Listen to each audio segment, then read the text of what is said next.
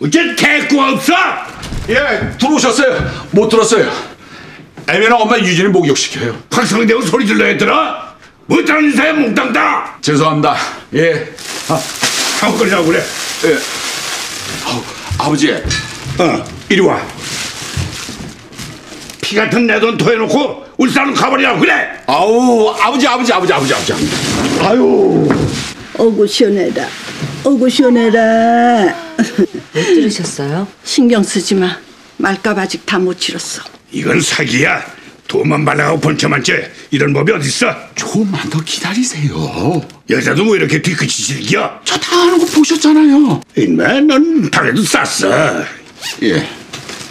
에이 아버지 혹시 다른 분 마음에 두셨다가 발각되셨어요?